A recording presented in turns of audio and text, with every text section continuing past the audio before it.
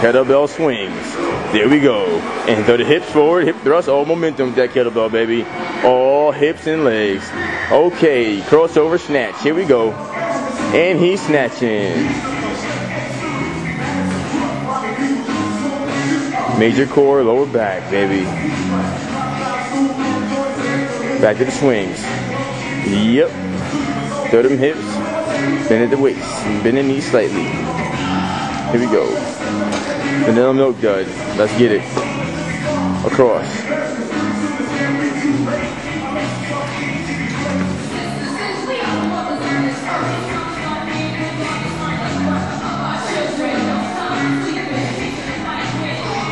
And finish up with power swings.